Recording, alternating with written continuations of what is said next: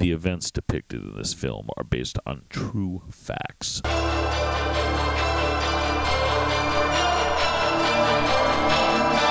Why don't you go fuck yourself and shove that good book up your ass? I'm gonna kill you, bitch! I'm gonna fucking kill you! The time for sinners to pay is at hand!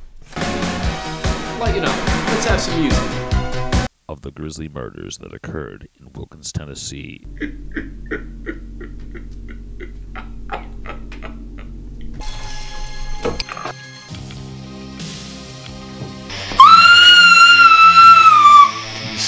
want my pipe in your mouth?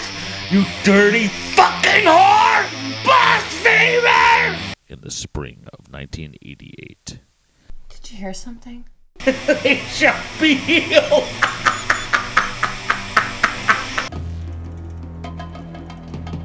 This information is based on the newly found case files written by Sheriff Thomas Savini.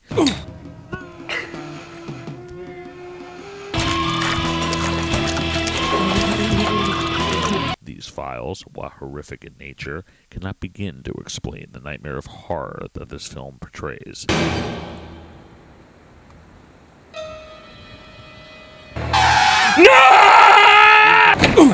Here before you is the story of a night in the depths of hell for a group of youths.